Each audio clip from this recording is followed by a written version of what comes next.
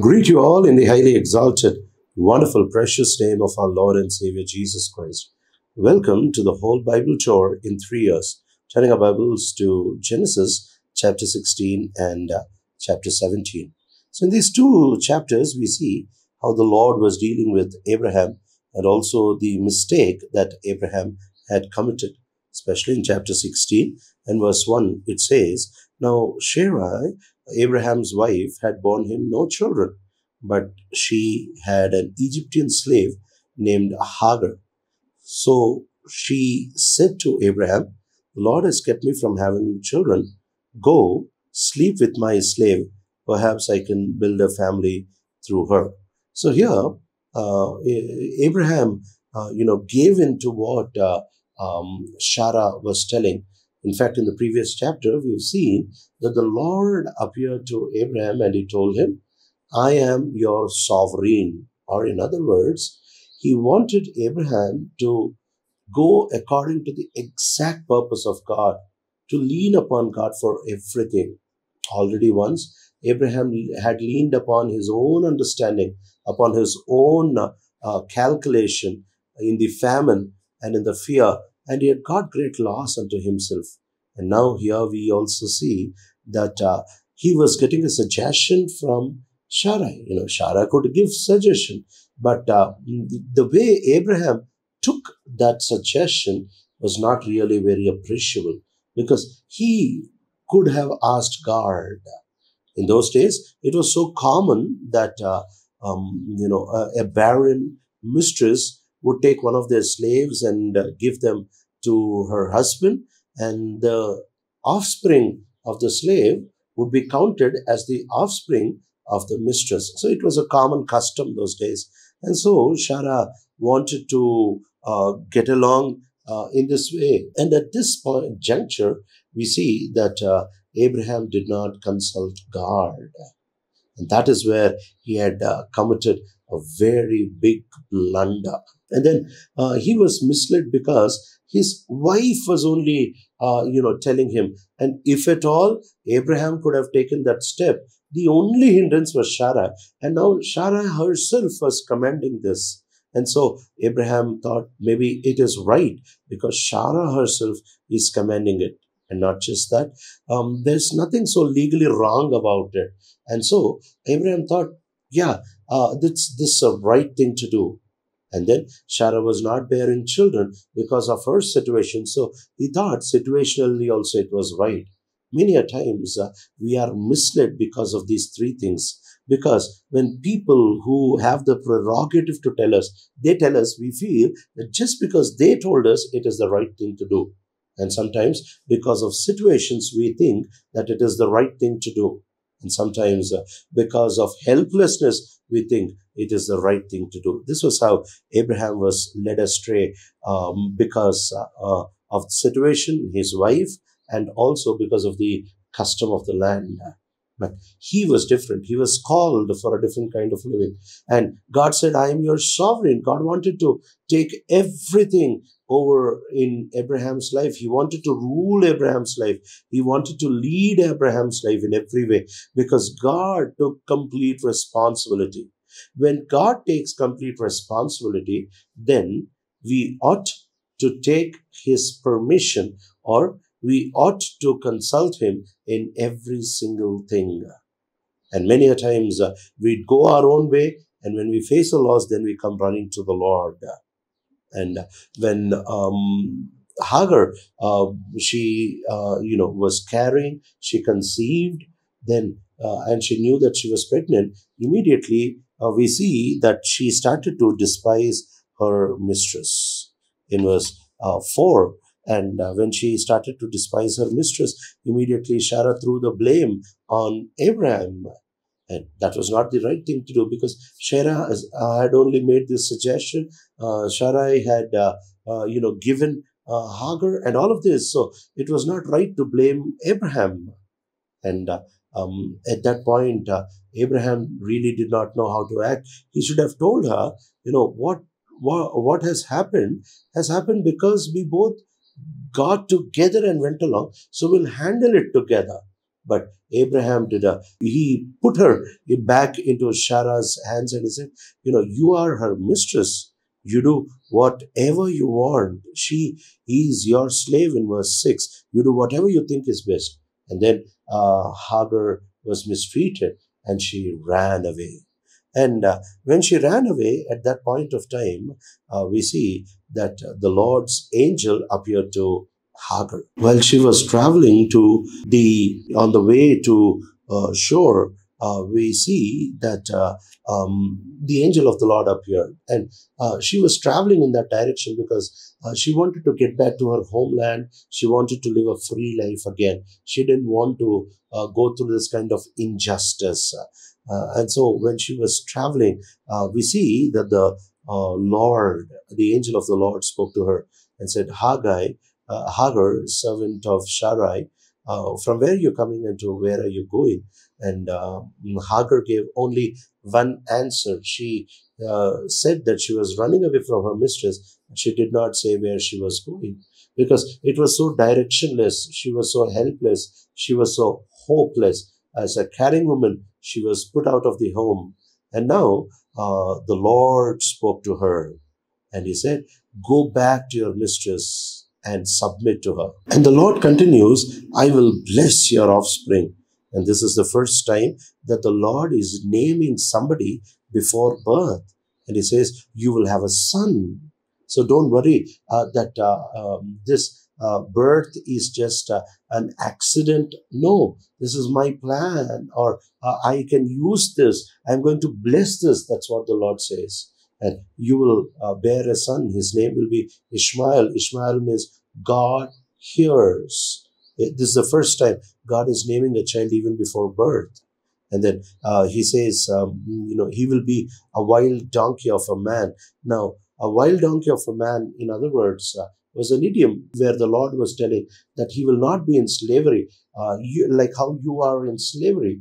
He will be free because wild donkeys are free. They spoke about freedom in those days. So you will be uh, there. Your son will be a free man, and uh, he will, uh, you know, rulers will come out of him and uh, he will live um, among all his brothers or beside all his brothers. And, you know, this, this message from the Lord was so encouraging that uh, Hagar took courage to get back to her home. And uh, she said in verse 13, she gave this name to the Lord who spoke to her. You are the God who sees me. For she said, I've now seen the one who sees me. And uh, uh, that is why the well was called Beer Lahai Roi. That is still there between Kadesh and Bered in verse 13. So here we see that she had an encounter with God. And this encounter with God made her believe this God. She and her descendants, uh, you know, believed this God, that this God is going to bless them. This God is going to lead them. This God is going to give them freedom. And so uh, she wanted the freedom that God would give. And so she went back uh, and she was accepted because God made things uh, comfortable for her. And um, Hagar, uh, she bore a son and, Ish- and he was named Ishmael by Abraham. Obviously, she would have shared that experience and Abraham would have named him as Ishmael. Abraham was 86 years when uh, Hagar bore him Ishmael. And this is the gist of uh, the 16th chapter, um, how, um, you know, God uh, sovereignly turns events and um, he blessed Ishmael just because he was born to Abraham. You see, God's covenant is so beautiful. God's way of working is so beautiful. Especially in the 17th chapter, we see how God makes a covenant. And this is very, very crucial. Chapter 17 and verse uh, 1 and 2, he says, I am God Almighty. So uh, here he is making this covenant with his own name. With his own name, he is making this covenant. And uh, below, he says, uh, uh, Your name will no more be Abraham, but Abraham, because you will be the father of many nations. And uh, your wife's name will not be Sharai, but Shara, because I will bless her and give you a son through her, and she will be the mother of many nations. So we see God's name and their transformed names were very crucial in this covenant. So the covenant that God makes, when God is making a covenant, it may, He makes this covenant uh, based upon His own nature, based upon His own immutable characteristics, based upon His own, uh, you know, unchangeable uh, ethics. So the covenants of God are very, very precious. We cannot take them lightly. Human covenants are broken because they are either broken uh, by death or by sin or by a change of mind or by situations. Whereas all these four do not have any governance over God. God is everlasting and God doesn't change and uh, there is no situation that is beyond the hand of God. And uh, this God, when he makes a covenant on his name, it stands. So that's why he says, I am God Almighty. So upon his name, he is making this covenant. And then he places one, you know, spiritual, ethical condition and one physical condition for this covenant. The ethical condition that he uh, places in order to make this covenant is in uh, chapter 17 and verse 1. He says, Walk before me faithfully and be blameless. Now, faithfully means just do the things that I tell you to do. And uh, being blameless means don't let anything mar your life. Don't let any misdeed of yours or any suggestion from anybody, you know, don't let these things rule you. And then uh, he says in verse 2, then I will make a covenant between me and you and greatly increase your numbers. So here we see that the covenant was based on the immutable nature of God. And uh, this covenant um, was continued through generations because it was based not on some uh, nature of man, but on the immutability of God. And uh, the blessings that God promised him was that he would increase him greatly and uh, that he would um, you know, make him very fruitful and that the generation would come from Shara and that they would inherit that whole land. It was always, you know, a people, a nation and a land. The covenant of God for Abraham was always people, nation and a land, or it was a blessing, a nation and a land. So this was uh, the fulcrum of God's covenant to Abraham. And here we see um, that when God made this covenant to Abraham, Abraham was surely assured of this. And uh, Abraham, um, you know, uh, uh, asked the Lord, okay, Lord, but, um, you know, bless uh, let your let your blessing fall upon um, Ishmael in verse 18. He says, Bless Ishmael. And uh, God says, No, no, no. Um, Abraham, leave it to me. I'm not going to bless Ishmael with the special blessing that I'm going to give only Isaac. He's the promised son, born out of promise, not born out of flesh. That's what we see the commentary in the New Testament. We see that, um, you know, uh, Ishmael was born of flesh, and so he could not inherit this special blessing. Yeah, he could be blessed uh, physically. He was blessed spiritually, uh, uh, physically increased, uh, and many other things. But he was not given that special blessing because that special blessing was given by faith, by promise, by the word of God. And then the second condition that the Lord put to Abraham was circumcision.